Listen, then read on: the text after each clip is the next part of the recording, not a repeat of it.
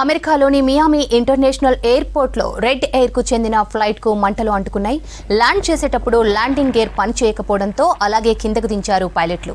దీంతో రన్వేపై ఒక్కసారిగా మంటలు చెలరేగాయి. ఈ ఫ్లైట్లో నూట ఇరవై ఆరు మంది ప్రయాణికులు ఉన్నారు. అందులో నలుగురికి గాయాలైనట్లు అధికారులు తెలిపారు.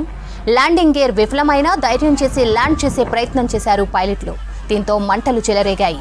ఈ విషయాన్ని ఏటీసీకి చెప్పడంతో వెంటనే ఫైర్ ఇంజన్లను అలర్ట్ చేశారు. మంటలను అదుపులోకి తీసుకొచ్చారు. ఫ్లైట్ ల్యాండ్ అవ్వగానే ప్రయాణికులు విమానం నుంచి పరుగులు తీశారు.